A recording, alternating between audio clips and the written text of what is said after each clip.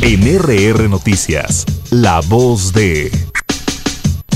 Toño Rangel, que es secretario de Planeación y Participación Ciudadana del Gobierno del Estado de Querétaro y que además es colaborador de RR Noticias. Bienvenido como siempre, Toño, ¿cómo estás? Mi querido Daniel, muchísimas gracias a ti, a todo tu auditorio, un placer saludarte, todas las queretanas y queretanos chambeadores que nos hacen el favor de escucharnos. Muchísimas gracias, Toño. Cuéntanos qué nos has preparado para reflexionar en esta tarde de martes. Te agradezco muchísimo, mi estimado Daniel. Fíjate que pues estamos a punto de cumplir dos años en la administración del gobernador, del gobernador Mauricio Curi y la realidad es que tenemos pues ya en puerta el segundo informe de gobierno que se llevará a cabo este fin de semana. Y pues quisiera básicamente hacer mención de 10 eh, puntos que ha venido trabajando fuerte el gobernador y en los cuales hay resultados.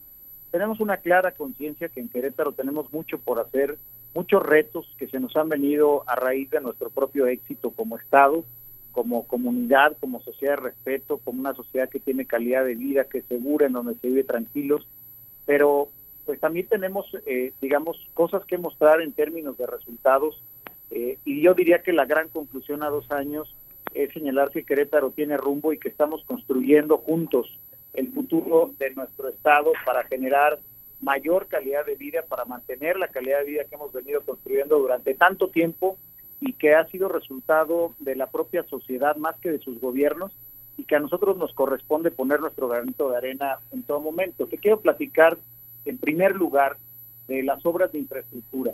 Hay, eh, digamos, un ejercicio como nunca antes de 10 mil millones de pesos en más de 200 obras para los 18 municipios, que es muy importante entender que somos un estado eh, de 18 municipios, si bien es variado, pues tenemos eh, una, un amplio territorio que tenemos que, eh, que, tenemos que comprender. Tenemos la reconstrucción del Paseo 5 de febrero, tema muy, muy importante, que de no hacerlo, pues estamos poniendo en riesgo la viabilidad del futuro de nuestro propio estado, de nuestra propia zona metropolitana. Pero no solamente somos un gobierno constructor de oportunidades y de proyectos de infraestructura, sino que también eh, pues echamos la mano a toda la gente que se nos está quedando atrás, por ejemplo, en el tema de la pandemia, con todo el tema de los apoyos sociales. Tenemos 65 programas sociales, somos uno de los estados que tiene el mayor catálogo de programas.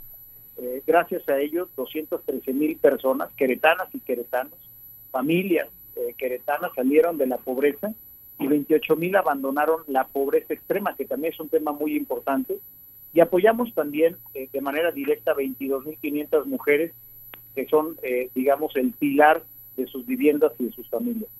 Por supuesto, algo que no podemos dejar de lado, como tercer punto, el transporte público. Se retiraron 776 concesiones. Es bien importante porque estamos pasando de eh, atender a los concesionarios, atender directamente a los usuarios con 30 nuevas rutas, incorporamos 70 nuevas unidades 120 nuevos eh, autobuses modelo Mercedes-Benz a Paseo 5 de febrero y en total 400 nuevas unidades que ayer fueron presentadas y que estarán llegando de manera paulatina, integrándose de manera también paulatina a nuestro sistema de transporte público. 76 mil usuarios pagan solo dos pesos con la tarifa más baja del país y entendemos que es un problema gravísimo, muy profundo en nivel eh, de la zona metropolitana y por eso el gobernador le entró con mucha valentía a este tipo de temas eh, de manera profunda, no solamente de forma. El tema de la seguridad es el tema que a todos nos ocupa en el país, pero particularmente en Querétaro podemos decir que hemos venido entrando muy, muy fuertes con inversiones, por ejemplo, como la de los 4 mil millones de pesos que realizó el año pasado, con 2.680 cámaras de vigilancia. Eh, pues hemos también abatido la disminución, hemos eh, disminuido la incidencia en delitos patrimoniales como el robo a casa habitación en un 18.9%, el robo a transeúnte también bajó un 15%, y seguir, eh, estamos van a seguir habiendo, digamos, eh, eventos, pero por supuesto que, como dice el gobernador, nunca nos encontrarán con los brazos cruzados. En quinto lugar tenemos los temas de salud, hay un abasto en el estado del 95% de las recetas de medicamento eh, situación que no ocurre en el país. En otros estados andan por el 40, 50, 55%, y acá tenemos una buena cobertura. En inversión y empleo, pues más de 70 mil nuevos empleos formales están generando en Querétaro. Somos el segundo estado con mayor competitividad del país, eh, solamente por detrás de la Ciudad de México, pero estamos por encima de por encima de estados como Jalisco. En educación, tenemos el transporte escolar gratuito y seguro a más de 9.700 estudiantes, 50.000 becas, 15.000 más que el año anterior, por ejemplo, eh, 400.000 kits escolares, uniformes deportivos. Hemos alcanzado metas importantes en ese sentido. En materia de agua, 76 obras para garantizar agua potable, instalamos o rehabilitamos más de 20.000 eh, metros lineales de tubería, se está construyendo todo el proyecto de Acueducto 3 para garantizar el, agua hacia adelante. Como noveno punto de estos 10 que les quiero platicar, el turismo y la cultura se invirtieron, eh, hay una derrama económica más o menos de alrededor de cerca de 20 mil millones de pesos en beneficio de las familias queretanas, con un incremento del 20% en cuanto a la afluencia turística, nos visitan cada vez más. No solamente la gente quiere venir a vivir, sino que los que no vienen a vivir vienen a visitar Querétaro tenemos eh, otro pueblo mágico que es Pinal de Amores, sumando un total de siete. Tenemos también eh, la primera Feria Internacional del Libro y Medios Audiovisuales con 41 mil asistentes. Y para cerrar el tema de mejora regulatoria, somos primer lugar en mejora regulatoria. Eh, hemos beneficiado a más de 500 mil personas con este tema y seguimos trabajando muy fuerte para digitalizar Querétaro.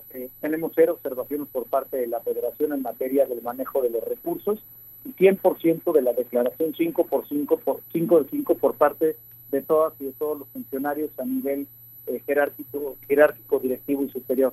En suma, eh, hay muchos resultados que queremos compartir con la gente, pero el, mensaje claro es que estamos trabajando con rumbo, estamos trabajando para construir el Querétaro del futuro y lo estamos haciendo de la mano de las ciudadanas y los ciudadanos. Entendemos que la situación no es, no es sencilla, que la situación de nuestro país tampoco lo es en materia de seguridad, particularmente en materia económica, pero en Querétaro no ponemos pretextos, sino que nos hacemos responsables de lo que nos corresponde. Hay muchas, eh, digamos, situaciones que corresponden al ámbito federal, pero como es el gobernador, aquí vivimos y por eso lo tenemos que entrar todos de frente con valentía para dejarle a nuestros hijos un Querétaro mejor y para elevar a Querétaro en el corto plazo a un eh, siguiente nivel. Sería todo mi, eh, comentario ya eh, de hoy, mi estimado Daniel. Y bueno, pues te mando un saludo y quedamos a la disposición de todo tu auditorio. Igualmente, quedamos pendientes de muchos de estos datos que seguramente compartirá este fin de semana en su informe el gobernador Mauricio Curi. Fuerte abrazo, Toño. Igualmente, abrazote, saludos. Gracias, las 2 de la tarde ya con 16 minutos.